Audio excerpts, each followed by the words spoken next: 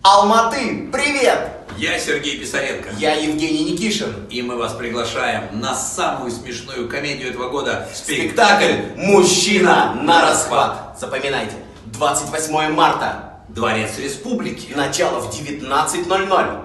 Билеты можно купить на сайте Кассир КЗ. Переходите по ссылке прямо сейчас. Будет очень здорово. Поржем.